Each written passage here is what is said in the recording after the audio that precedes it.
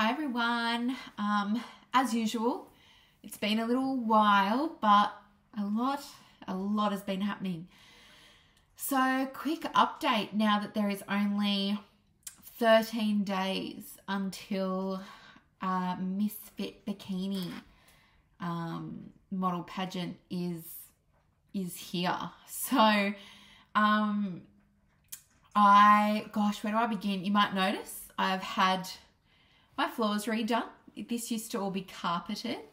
Um, so that's a massive just weight off my shoulders. Carpet with animals is just not nice. So I have done some home improvement, which is just as good as a holiday change, as they say.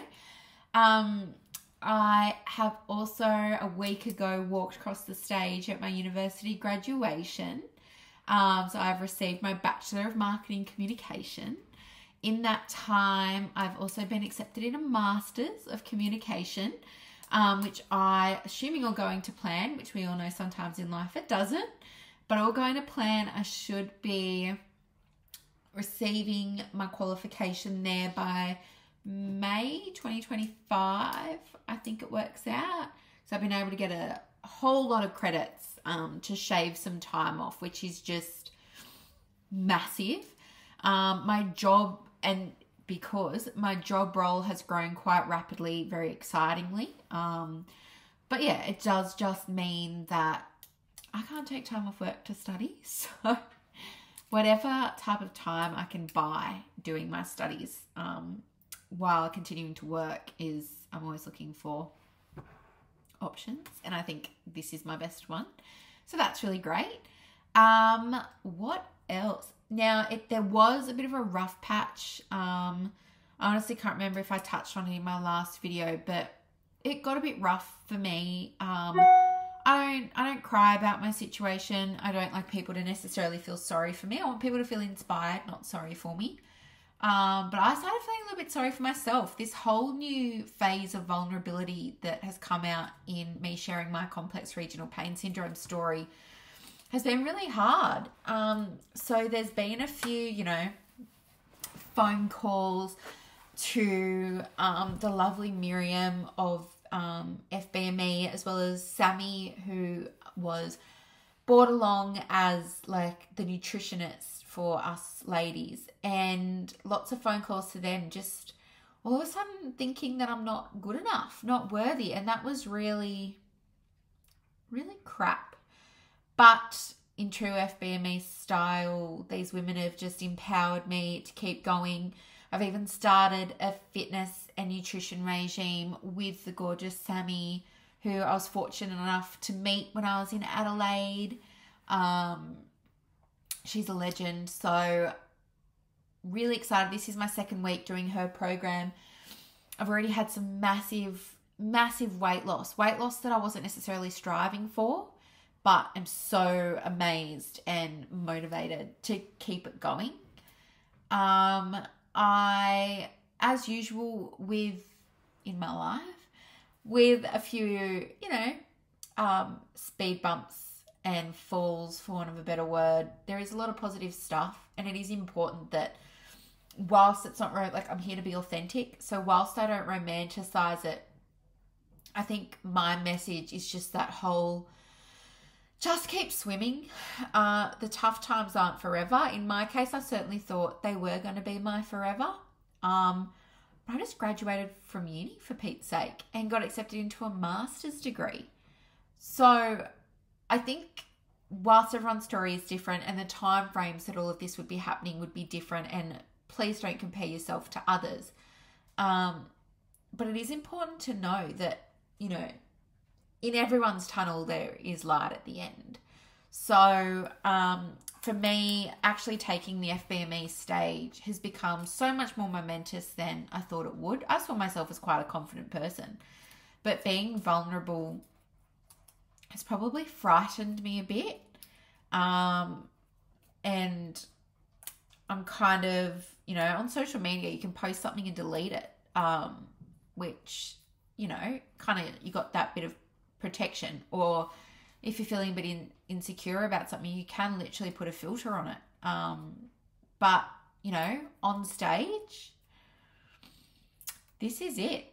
My feet haven't been coping in high heels. The pain, particularly in my left foot, where I've had sort of the ball of my foot hollowed out um, in surgeries.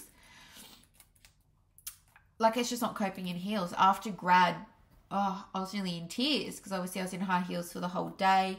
Walked across the stage, didn't fall. That was huge for me. Um, so I'm terrified about the condition of my feet for pageant. Um, I don't think my left foot's even really recovered since the city to surf.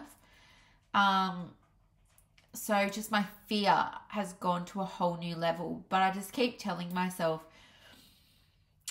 that whole the right person's going to see this when they need to see it. Um, and just as Maya's in Take Care of Maya and her story, which I've spoken about before on my socials and on my YouTube, her story is also now in front of the courts. There's a lot of positive change I can make about CRPS. Um, whilst I have a very modest social media following, I have gained 100 new followers um, recently, organically.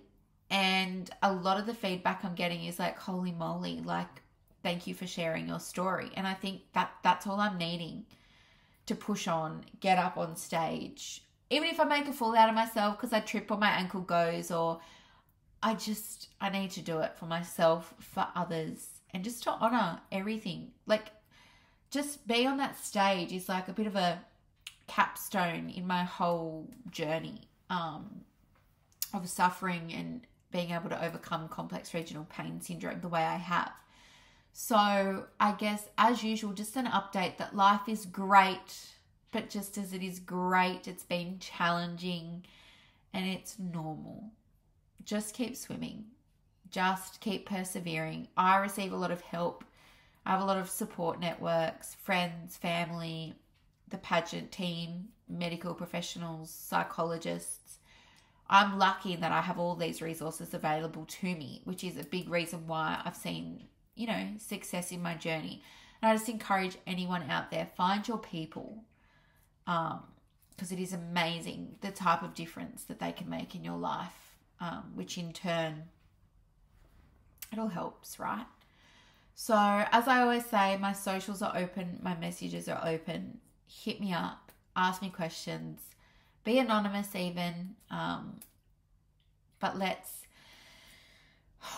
let's do this. Next time I speak to you, I'm thinking I'll do another video just before pageant. Get a get a real feeling of how I'm feeling, um, record it all. So I'll be on a plane in, gosh, I think it works out in 10 days, and then on the stage in 13 days. So stay tuned for the wild ride. Be watching my content, be, you know, wrapping your head around complex regional pain syndrome and just be empathetic to people around you because you never know what they've been through or are going through. They're probably my biggest takeaways um, from the last few weeks. So, as I always say, it's a wild ride, and just thank you all for for being on it with me. Let's do it.